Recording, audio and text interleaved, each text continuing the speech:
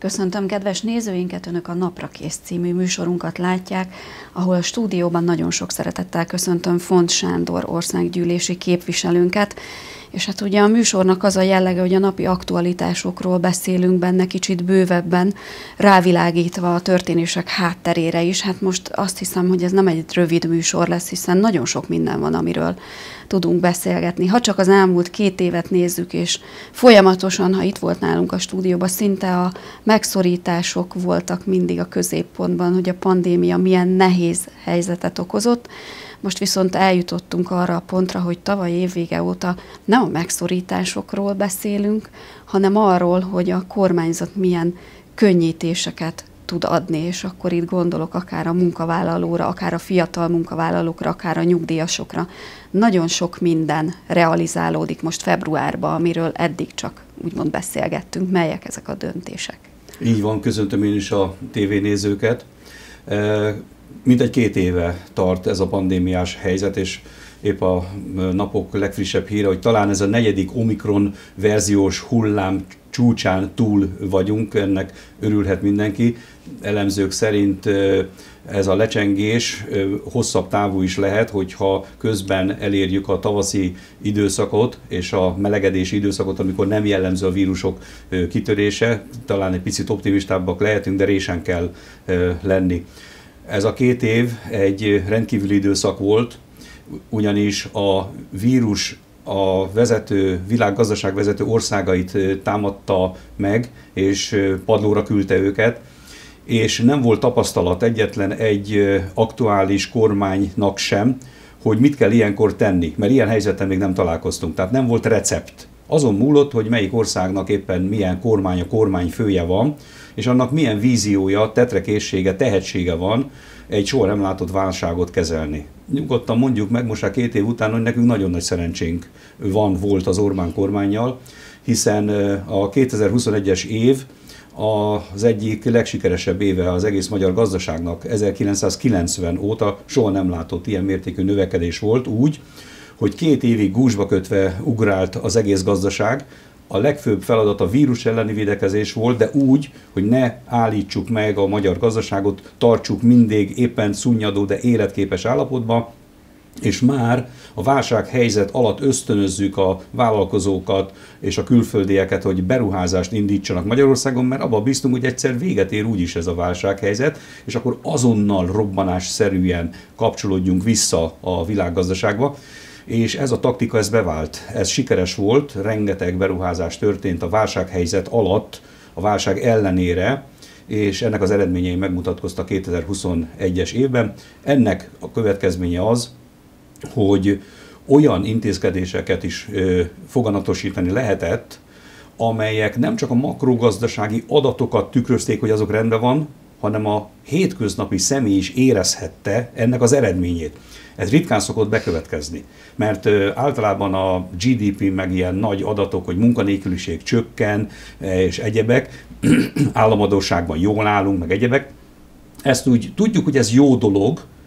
de nem ér el hozzánk a hétköznapi személyhez ennek a hatása. Most pedig olyan intézkedéseket is meg lehetett valósítani, amelyeknek a hatása elért a hétköznapi emberhez. Ez is ritka pillanat egy ország életében, és csak felsorolom, hogy a legikonikusabb talán, a mindegy két és fél millió személyt érintő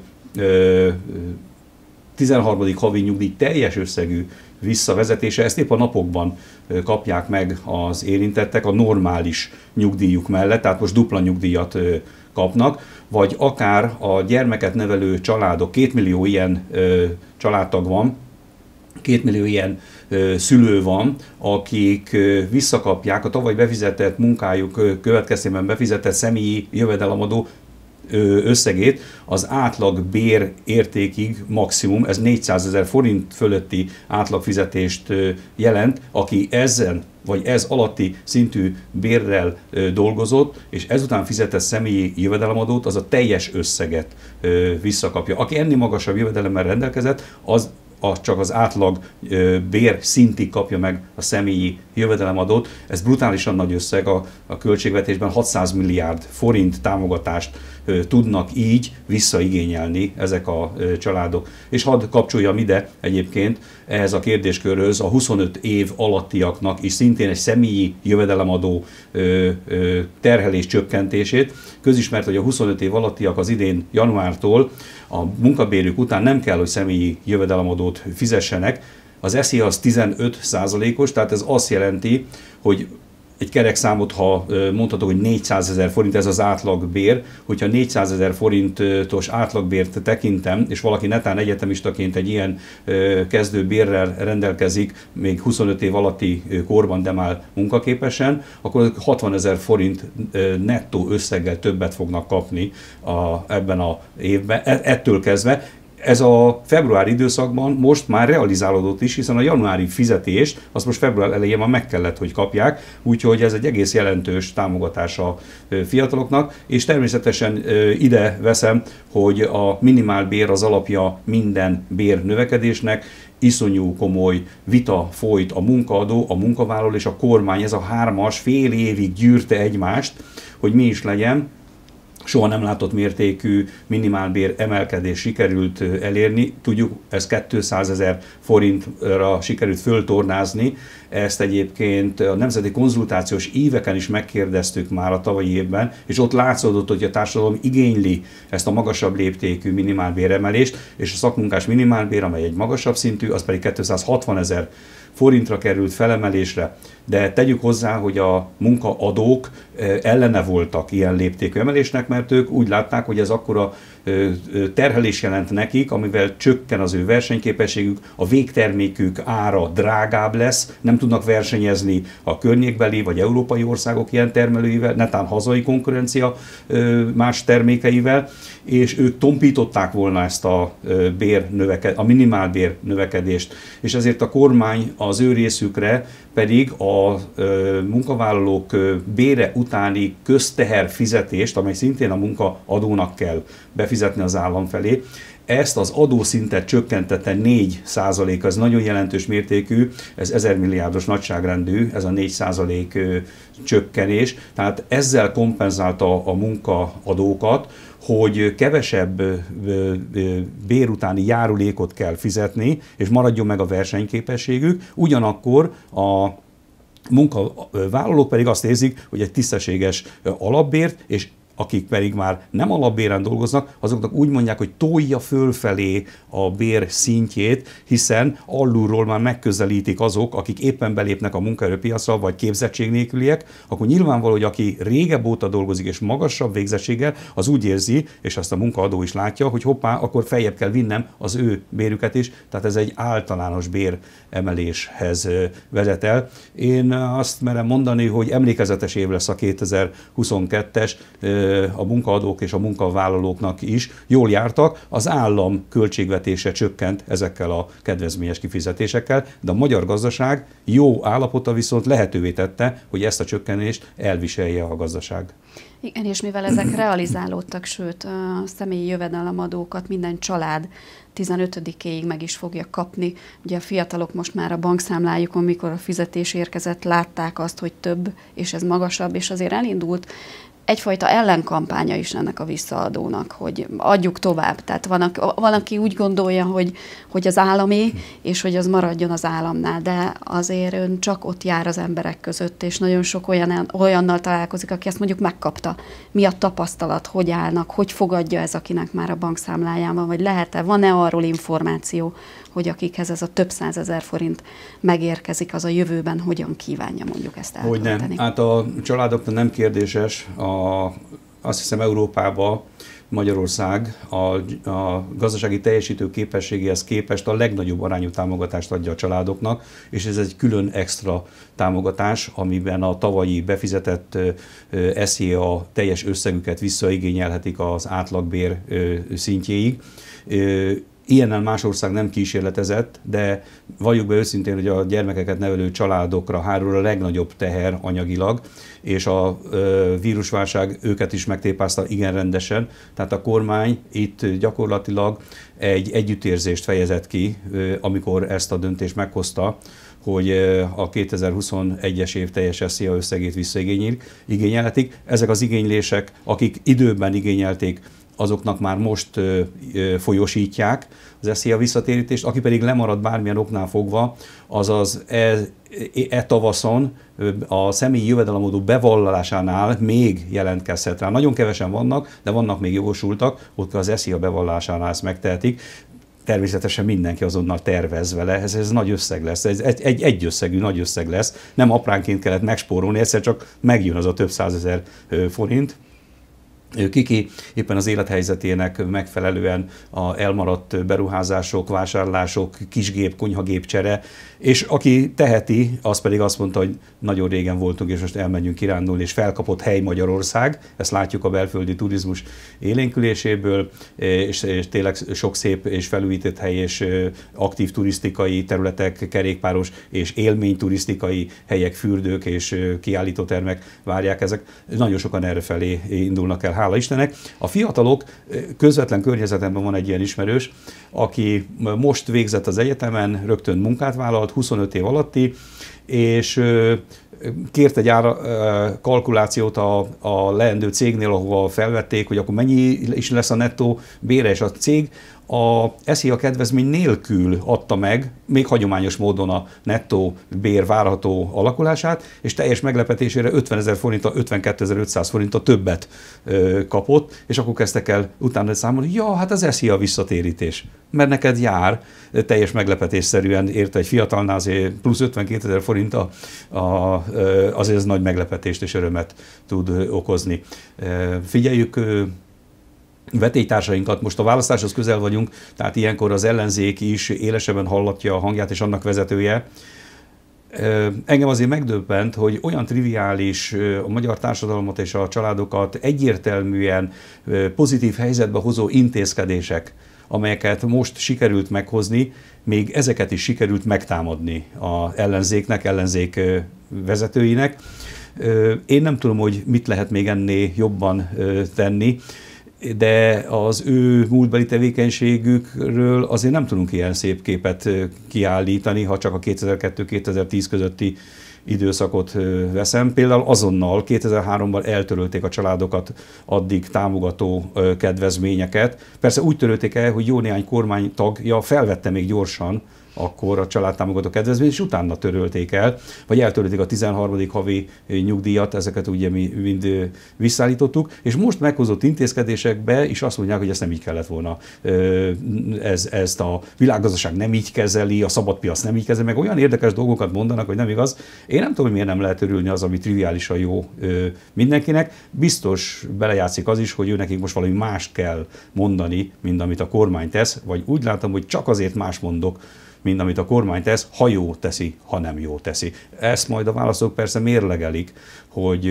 az összjó az tulajdonképpen kinek a javára billenti majd el esetleg az április harmadikai választásokat. És ez nagyon jó, hogy így fogalmazott, hogy összjó, mert ugye itt a családokról beszélünk meg arra, hogy a fiatalokat, az időseket és a családokat támogatja a kormány ezekkel az intézkedésekkel, de hát az egyértelműen látszik, hogy a gazdaságot élénkíti mindaz a pénz, ami a családokhoz kerül, hiszen hogyha most mindenki bepótolja és megveszi a konyhájába azt az eszközt, akkor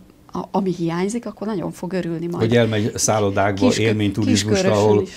legnagyobb gond ugye a szegény vendéglátó szállodaipar turisztikában érintetteket sújtotta, és még talán nem is tudtak kijönni ők egyedül, akik nem tudtak kijönni a válság okozta nagy sújtásokból. Bizony, ezek a plusz jövedelmek, ezek visszafordulnak, tehát egy körforgásos rendszerbe ezek visszakerülnek a magyar gazdaságba. Ezt sokan nem látják, de a makrogazdasági elemzők a kormányban ezt pontosan látják, hogy ez a pénz ez elköltésre kerül. Ez a magyar gazdaságot fogja újra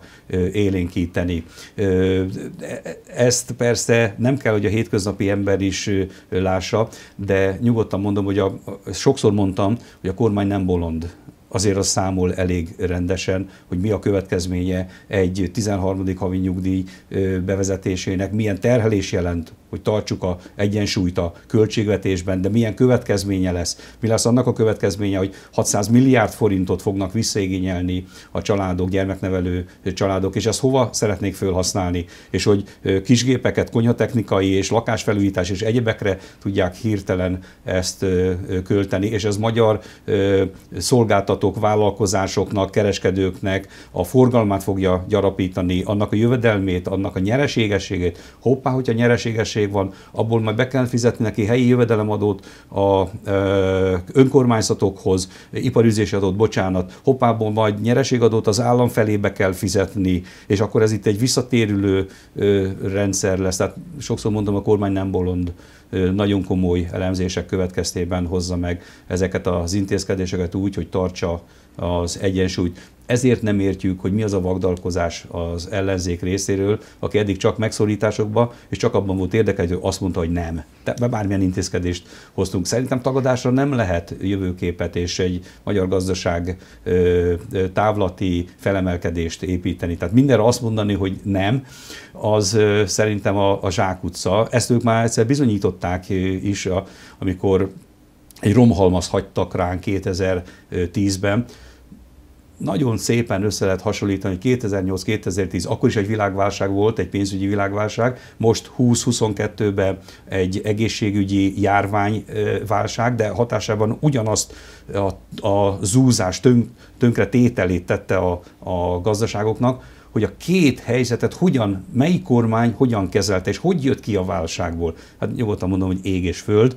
amikor 2010-ben kormányváltás volt, akkor három-négy évbe került a kormányunknak, hogy helyrehozzuk azt a katasztrofális ö, állapotot, amit ránk hagytak. Megjegyzem, hogy semmelyik környező közép-európai ország nem került akkora válsághelyzetbe, mint Magyarország. Mindegyik könnyebben viselte, itt Csehország, Szlovákia, Románia, Lengyelországot szoktuk nézni velünk, azonos kvalitású országokról beszélek, mindegyik nem került olyan mélységbe, és gyorsabban kijött a válságból. Nálunk akkor 12%-os volt a munkanélküliség, az államadóság 10% körüli volt, ugye ezt visszavittük 3% alá. Tehát olyan félelmetes nagy volt a gazdasági válság, hogy ez 2-3 évbe került, rendkívüli intézkedésekkel, bankadó bevezetése, nagyvállalati adó bevezetésével, amit az Európa Unió megtámadott, de aztán a bíróság nekünk adott igazat. Azt, amikor nekünk adott igazat a bíróság, Európai Bíróság, akkor több ország bevezette a bankadót, csak hogy emlékezetes dolgokra is visszatérjünk. Ehhez képest nyugodtan mondhatom, majd történelmi példa lesz majd egy 5 év, 10 év múlva, hogy melyik európai ország hogyan kezelte a válságot. Ebben az lecke lesz a, a magyar válságkezelés, ebben száz százalék biztos vagyok, hogy na így kellett volna a többi országnak is csinálni. Hát bízunk benne, hogy itt a családtámogatások kapcsán is más országnak jó példával tudunk szolgálni, és mindenki ezt az utat fogja majd választani arra, hogy megoldja a, a szakemberhiányt mondjuk, hogy, hogy a családtámogatásokra fektessenek hangsúlyt, de a 2022-es év az nem csak a családok szempontjából lesz fontos és eredményes, ez Kiskörösváros életében is nagyon-nagyon sok kézzelfogható eredményt hoz, ami mögött azért ott van nem kevés munka, mint országgyűlési képviselőként, amit, amit a, mögé tett, vagy a kapcsolatrendszereink keresztül segítette ebben a városvezetést, hogy megvalósuljon. Ugye szinte nincs olyan hét, hogy Kiskörösön ne jelentsenek be valami nagyobbféle beruházást, ami el tud indulni. És akkor most, hogyha visszafelé megyünk az időbe, ugye itt vannak az iskoláink. Itt van Igen itt van ugye most a bemiskola az, amelynek a, a bővítését uh, tervezik, és nem kevés munka kellett ahhoz, hogy ez, ez megvalósulhasson. Milyen fejlesztésekre lehet számítani ott? Két iskola, két nehéz eset. Majdnem elbuktuk mind a két megnyert pályázatot, különféle administratív okok és pénzügyi okok miatt Szó szerint többször kellett személyes egyeztetést folytatnom úgynevezett irányító hatósági vezetőkkel, hogy higgyék el, hogy mi meg tudjuk, meg tudjuk csinálni. Ne kelljen még visszadni a már megnyert pénzt, de az kevés lesz, és ahhoz még majdnem dupla annyi pénz kell, és ekkor mondta azt az irányító hatóság, hogy értik, értik, de ők már nem jogosultak duplanyi támogatások odaítéléséhez. Ha én ezt a kormánynál, kormányfőnél tudom kezdeményezni, és az befogadja, akkor ők állnak elébe, de hogyha itt nem lesz plusz pénz, akkor ők most azt mondják, hogy na eddig tartott a kísérletezés, és akkor vissza a pénzt két iskola, két nagy beruházás, a legújabb valóban a BEM iskola, Nyolc új tanteremmel fog bővülni a frontvonali szakasz, teljesen új bejárati portál, nagy aula, egy üvegportálos részgyönyörű a látványtervek alapján, majd kellemes kiszolgáló terek építése, fedett kerékpárparkoló, fedett játszótér belül és további kiszolgáló létesítmények, nagyon komoly tantermi felszereltségek lesznek a majd a népülő 8 tanterembe, mint mintegy 190 fős további tanuló állományt tudnak befogadni. Ez nyilvánvaló, hogy nem hirtelen ennyi, de a bővülés és netán további felnőtt képzés és mindenre ezáltal alkalmas lesz a bemiskola, egy sokkal szélesebb portfólióval tudja az oktatást végezni. Ez egy olyan beruházás volt, ami egy 500-550 millió forint környékére volt datálva, de többszöri közbeszerzési hibázások következtében múltak az évek, és a újra-újra kísérletezgetés közben az árak elszabadultak, és szó szerint itt több forrást kellett még a kormánynál kérnem, kérnünk, mint amennyi az eredeti megítélt forrás volt, és így lett a tavaly évvégi kormány döntésbe 1, millió, 1 milliárd 100 millió forintos további össz, ez a végösszege, de mint egy 600 millió forintos további támogatás, és az eredeti 500 mellett lett 1,1 milliárdos most a becsült kivitelezési összeg, ez már biztos, hogy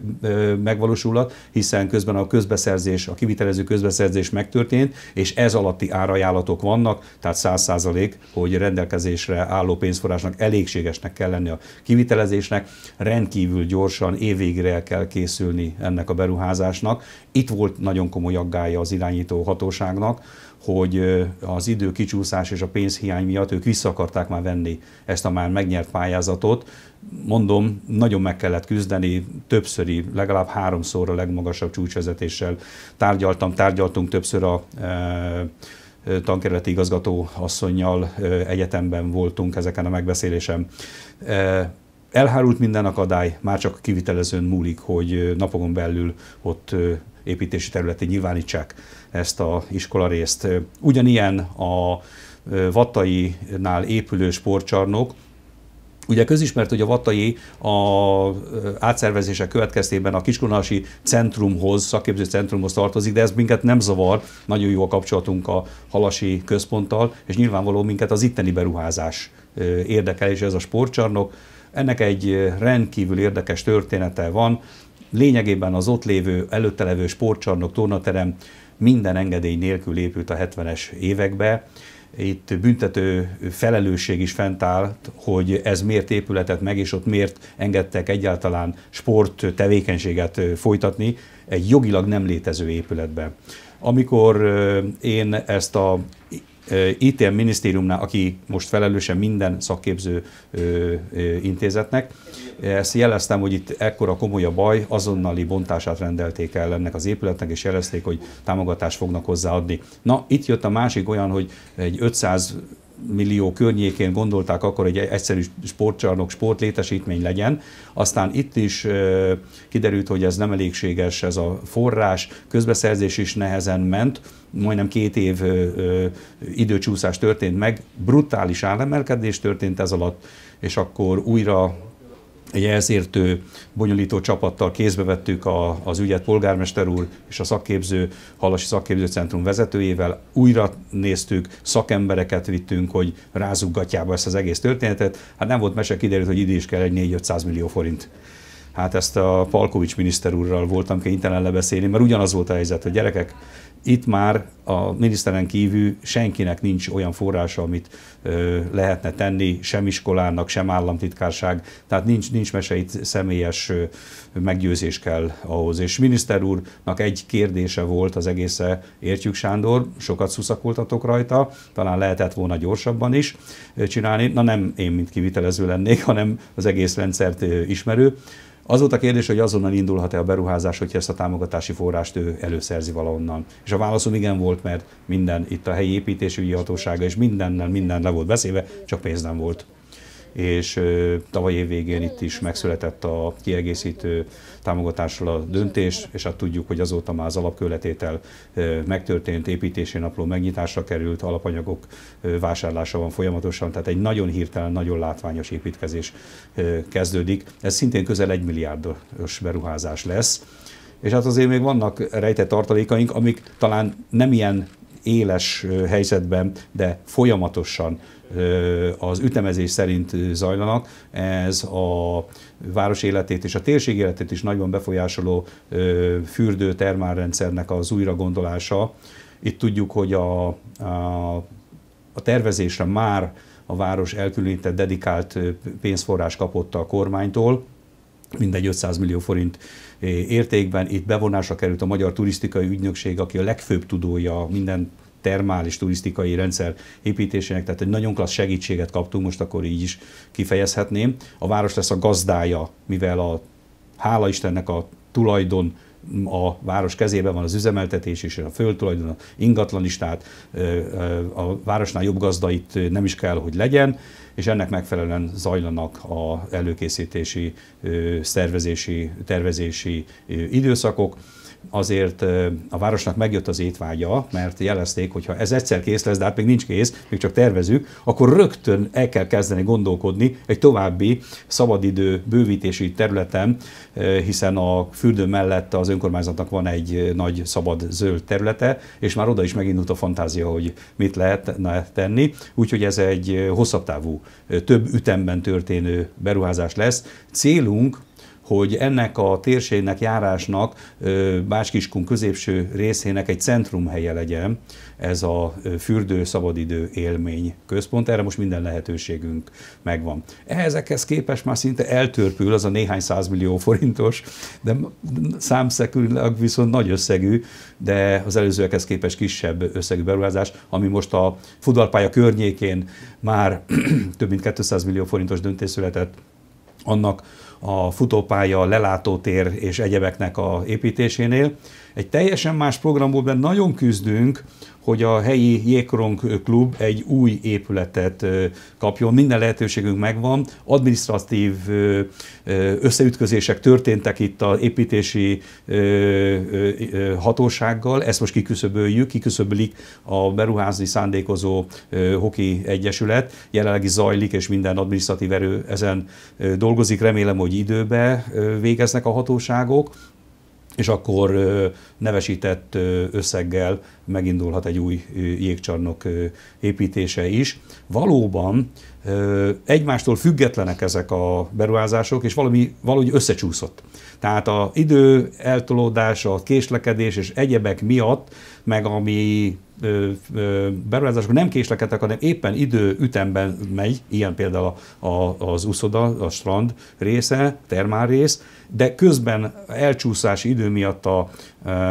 a sportcsarnok építés, a bemiskol építés, azok meg úgy rá zúdultak erre a 2022-es évről, mondhatom, hogy minden most történik majd. Ez okoz egy kis torlódást is itt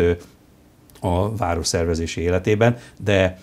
megéri türelmesnek lenni mindazoknak, akik a Bemiskola környékén majd nem tudnak leállni, parkolni, meg a Vatai környékén ö, okozhat ez gondot az építkezés, megéri türelmesnek lenni.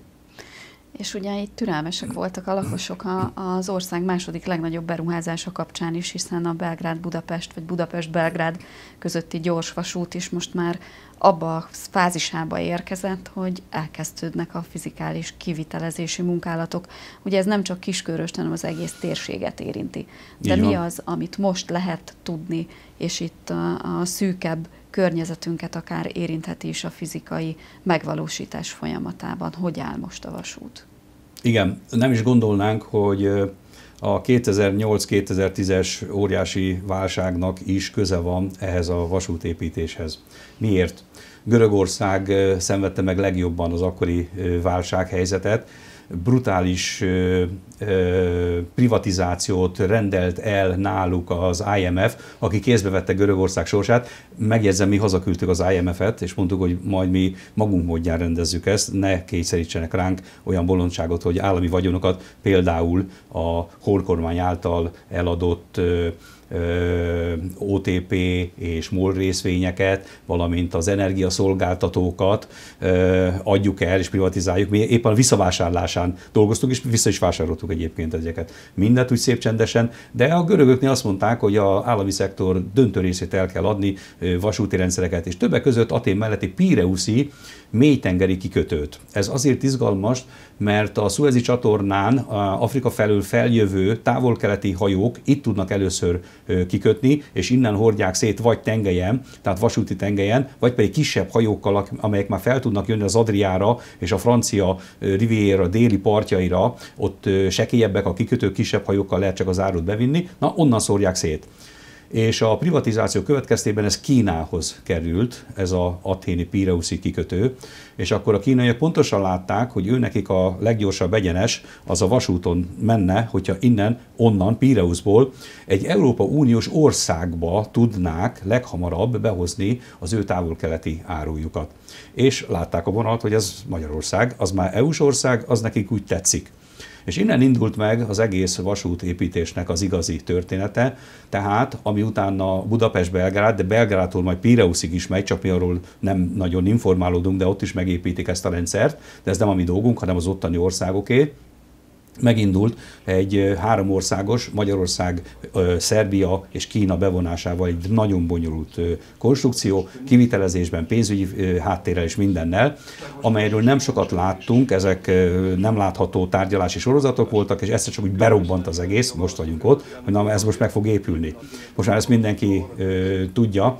és azt is, hogy mi csak ajándékba kapjuk azt, hogy itt a dupla vágány 160 km per órás közlekedés az kiterjed a személyi vonatokra is, mert igazából most akartam érzékeltetni, hogy ez egy áruszállításra kitalált rendszer. Szinte mellékterméke az, hogy ja, 160-nal megyünk, és egy oroszlat Budapest belvárosába, keleti vagy a nyugati pályaudvaron vagyunk azt még személygépkocsival se tudjuk ezt a sebességet produkálni, vagyis ezt az időtartalmat, tehát itt félelmetes új helyzet fog előállni néhány éven belül, három éven belül, ami várható kivitelezési időszak. Rendkívül zárt volt és titkos az egész tervezés, alig tudtunk valaki érdemi információt adó szemét megtalálni. Külön kínai-magyar projektcég jött létre, külön tervezőcsapat, senkinek nem adtak ki információt, csak a vasúti szemléletű érdekeket vették elsősorba, és minden ezután következett. Hát így Soltvatkertnél például egész komoly bajba kerültünk, mert ott meg egy elkerülő út lesz, és az elkerülő út, ez Metzi ezt a ö, vasutat, és ezt nem tudták megmondani, nem mondták meg, hogy hol lesz a vasút nyomvonala, mert vasúti ívonal korrekció is lesz, ugyanígy, mint a kiskörös, és már rátérek ide, és egyszerűen megállították a, a, a, a elkerülő tervezését is azáltal, hogy nem adtak információt. Ez az információ hiány végre tavaly, tavaly feloldódott, mint egy egy évvel ezelőtt,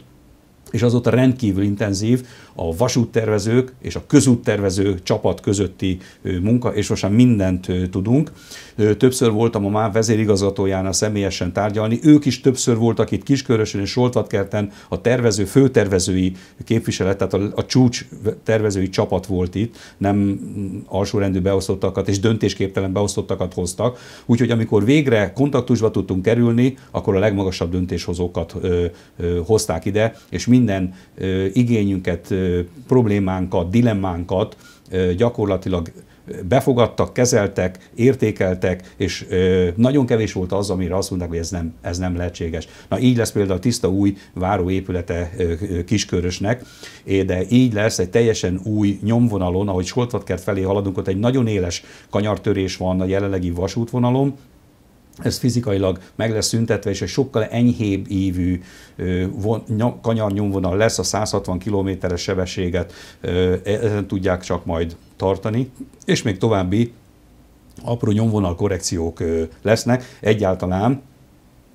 a Kiskörösről Solcatkert felé haladva már csak egy nyomvonal van, ö, ö, még Kiskörös és Budapest felé, megvan mind a két nyomvonal szélessége, ez az állam tulajdonában van, ez még az 1900-as években épült ki, de aztán a világháború következtében nem engedték, hogy megépítsük a dupla vágányt háborús büntetés következtében, de a nyomvonal az ott le van fedve ott nincsen gond, területet nem kell elvenni, de a Kisköröstől Soltvatkert felé és egész Kelebiáig ott egy dupla széles vasúti űrmértékben területeket kell elvenni. Ennek a előkészületi munkái végfázisban vannak. Jövő héten egy a beruházási vegyes vállalat megbízott egy ehhez a szakterülethez értő, a kisajátítási szakterülethez értő ügyvédi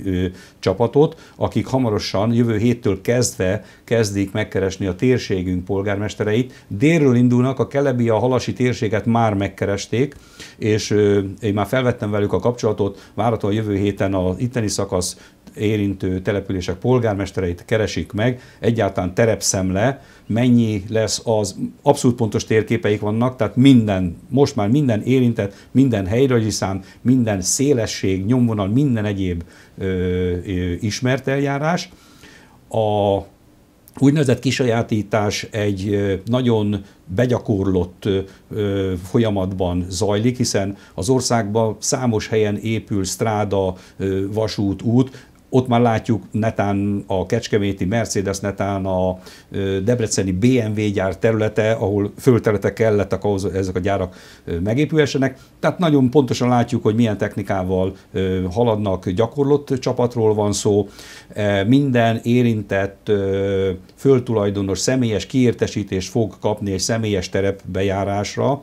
egy árajánlat tételt a föld adottságai, hogy az szántó, vagy gyümölcsös, vagy legelő, vagy elhagyott út, vagy erdő, vagy a művelési ágának megfelelően értékelik, és egy, egy többszörös szorzóval nézik meg, hogy a kivett érték, amit ezen termeltek, az mekkora érték, most már nem termelhető érték lesz, és ennek a kalkulált összegét fogják megajánlani. Nem köteles senki sem ezt elfogadni,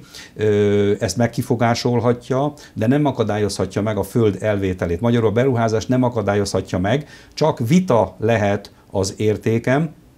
akik elfogadják általában, kérdezem, hogy mi a tapasztalat, azt mondták, hogy 85-90 százalék az érintetteknek el szokta fogadni az ő általuk tett ajánlatot. Ez egy tisztességes ajánlat ö, általában. 85-90 százalék elfogadja, ott néhány hónapon belül kiutalják az elfogadott összeget. Akik nem fogadják el, ott egy közigazgatási bíróság felé mehetnek, ekkor már a kisajátító cégnek semmi köze ahhoz, hogy a bíróság mit ítél meg, az viszont egy hosszabb folyamat lehet, később juthatnak hozzá ez az összeg a, összeghez a tulajdonosok, amikor a bíróság kimondja azt, hogy jogos volt, nem volt jogos, dupla pénzt kell adni, fel annyi pénzt kell adni, ott történik majd valami döntés, de mint említettem, a tulajdonos nem akadályozhatja meg a kitűzést, és hogy ott a beruházás meginduljon. Palkovics miniszter és a teljes kínai vezérkar jelenlétében Kiskunhalason gyakorlatilag megtörtént az alapkő letétele ennek a munkálatoknak, azaz jogi értelemben elkezdődtek a munkák, ezt most még sokan nem látják, úgynevezett ráhordások történnek. Ez azt jelenti, hogy a megfelelő építő alapanyag tömeget bizonyos kijelölt helyekre már hordják, hogy onnan minél gyorsabban majd a fizikai építkezéshez oda tudják tenni. Ami viszont már minket érint, az február 1 -e óta, két héttel ezelőtt közölték, hogy akkor most tényleg megindul a építkezés, és ennek következtében utasforgalmi korlátozások lesznek életbe, és ez fent fog maradni három évig, amíg az építkezés zajlik, mert csak így tudják ilyen rendkívül rövid idő alatt, ez egy nagyon rövid időnek számít a három év, ilyen 140 kilométeres szakaszon dupla vágány építéssel megcsinálni, sok helyen új nyomvonalon, mint ahogy említettem, a kanyarívek kiküszöbölése miatt, ezért úgynevezett iránybuszok beállítása történik. Döntő többségében Budapest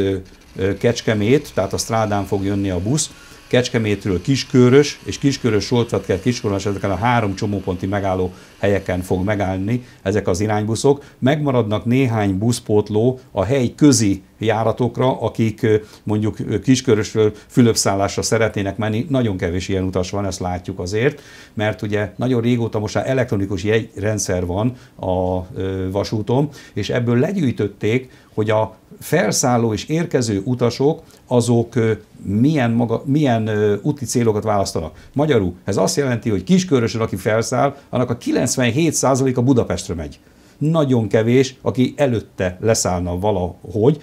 de ugyanez a jellemző halasra, meg sorolhatnám, magyarul azt látjuk, aki ezen a vonalon felszáll vagy érkezik, az a lakóhelyéről Budapestre szeretne eljutni. Nem véletlen, hogy ezért ezek az iránybuszok Budapest és a centrum lakóhely, tehát a városok, a Kiskörös, Soltatkert és Kiskunhalast célozzák meg, ezáltal egy tűrhető időt tudnak biztosítani a vonat helyett, és hát akik helyközi utazást is szeretnének, azoknak bizony hosszabb lesz, hiszen gondoljunk bele, hogy ott Fülöpszállásnál bolyong a busz, aztán bemegy Solcentimerre, aztán Tabdira, és az egy eléggé kacifántos út, de az ő részükre is biztosított lesz, hogy a vonat közlekedésben ismert, érintett településeket ugyanúgy meg tudja közelíteni busszal, csak ez egy, egy, egy rövid, rövid szakaszon érdemes ilyen utazást vállalni, és egy hosszabb, relatíve hosszabb időszakot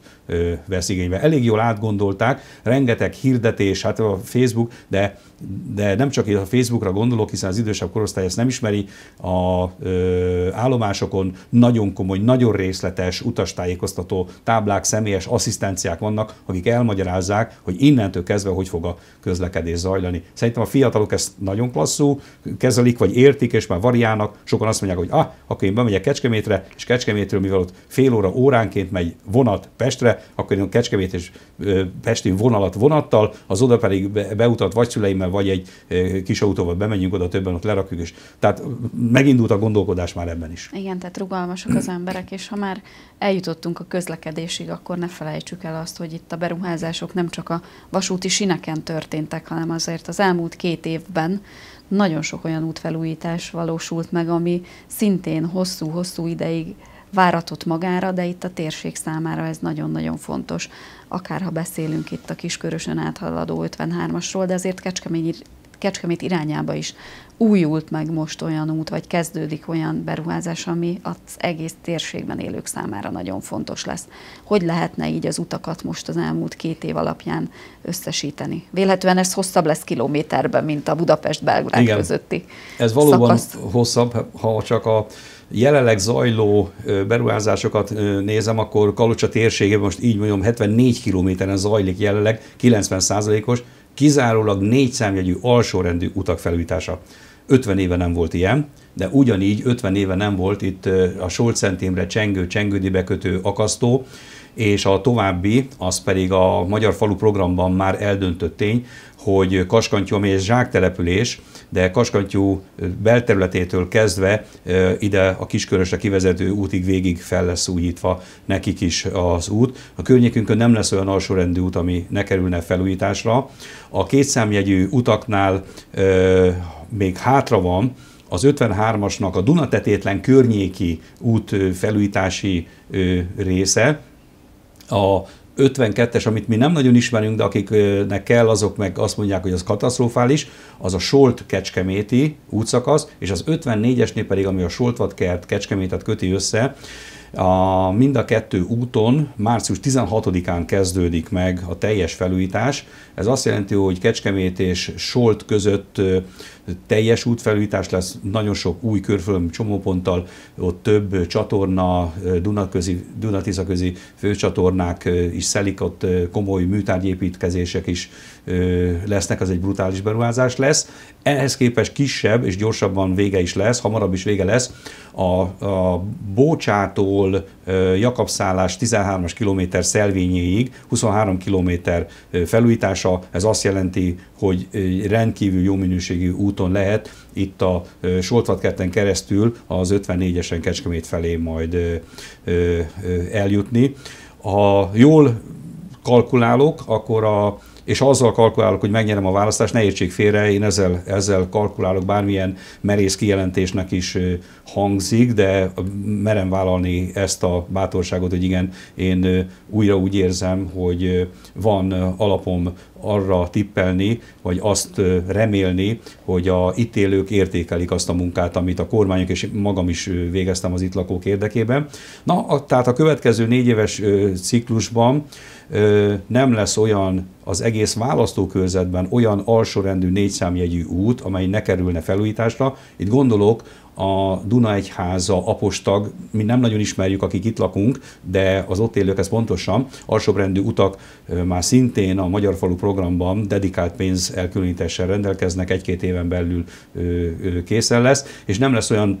kettőszámjegyű út, ami a körzetben ne kerülne teljesen felújításra, itt tőlünk messzebb esik, de az 51-es út, ami a Solt, Dunapataj, Kalocsa és az a Szexárdi hídig megy teljes felújításra kerül, amíg most fel nem újított része. Ráadásul ott egy kerékpárút is kiépül mellé, Kalocsától a Szexárdi hídig, és nekünk pedig a kerékpárutat, hadd említsem meg, kerékpárút nagyhatalom vagyunk, itt a Kiskörösi Soltvatkerti centrummal, hiszen akár merre megyünk, igen jó minőségű kerékpár útjaink vannak. Egy szakaszt most láthatnak a, arra járók, hogy a akasztói halas csárdától már folyik annak az eddig elmaradt, mint egy 5 kilométeres kerékpárút szakasz építkezése jelenleg. A Dunatetétlenig kell építeni, Dunatetétlentől már készen van a Solti bekötő útig, és a következő ciklusban már elindult most kormányhatározattal a tervezése az úgynevezett Dunakörnek, ez egy rendkívül nagy beruházás lesz, kerékpárút beruházás, a Solti Dunahídtól a Szexárdi Dunahídig, a Duna töltés koronája mindkét oldalán kerékpárút lesz, és a hidakon lehet átmenni rajta egy óriási kör. A Balaton után ez lesz a második legnagyobb egybefüggő kerékpárút, majd közben megépül a Kalocsa-Paksi híd, és ott is át lehet majd menni, magyarul lesz kettő kis kör, meg egy, egy nagyon nagy kör, tehát annyi változatosság lesz benne, hogy mindenki megtalálja erejéhez, akaratához, idejéhez mért távolságot, amit kerékpározni akar. Ehhez kiépített rákötő utak lesznek minden településről, ezért fontos nekünk a a most épülő ö, akasztói halaspark és a Solt bekötése, mert a ottani végpontja a kerékpárútnak, ez rá lesz kötve az előbb említett Nagy Duna körre, tehát közvetlenül rá fogunk tudni kerékpározni erre a szakaszra, de hogy egy kicsit variáljuk, ezért a kisköröst Kalocsával is összekötjük végig egy kerékpárúttal, itt elkülönített pénzek vannak megint erre, már csak a tervezés, megindulás és ezek vannak hátra, azaz Kiskörösről Kalocsa, és Kalocsán rá csatlakozni, mert ott is rákötés lesz a ö, Dunaparti nagy kerékpárútra. Ö, rendkívül új, olyan kerékpáros turisztikai szolgáltatást tudunk biztosítani a távolabbról érkezőknek, akik el fognak ámulni, hogy mennyi variációba lehet majd itt közlekedni, na és akkor mi meg készüljünk arra, hogy ezeknek a kerékpárosnapnak helyet, élményt, más programot adni, itt majd a strand és a termál már ilyen szempontból rendkívül fontos, de talán ilyen lesz rendkívül fontos, és ne is nyissunk ebben nagyon mély tartalmat, a Petőfi 200 éves évfordulója következtében további látványberuházások, amelyeket polgármester úr koordinál, tehát élményt fogunk biztosítani az ideérkező kerékpáros turistáknak, de erre nekünk is föl kell készülni például a szálláshelyekkel. Igen, látszódik, hogy az elmúlt két évben beszélhetünk, négy évről is döntései, történései, beruházásai kapcsán minden mindennel összefügg, ez és igazság szerint ez mind-mind azt segíti, hogy itt Kiskörösön, a térségben, a megyében olyan élhető települések és élhető környezet legyen, ami ide vonza a fiatalokat, és azért ebbe bízunk, hogy a gyorsvasút nagyon-nagyon nagy segítség lesz, hogy hamarabb jut el majd, hogy nem kiskörösről bárki a fővárosba, mint hogyha a főváros egyik kerületéből a másikba szeretne személyautóval jutni. Ez így van és nagyon-nagyon bízunk abba, hogy így a vidéki élet is sokkal vonzóbb lesz egyre több ember számára. Nagyon szépen köszönjük képviselő úr, hogy itt volt, és ilyen részletesen beszámolt az elmúlt év munkájáról és az ebben az évben megvalósuló beruházásokról is. és akkor bízunk abban, hogy fogunk még itt a stúdióban majd találkozni, és ilyen hosszú és tartalmas beszélgetéseket Köszönöm én is a lehetőséget, hajrá Kiskörös!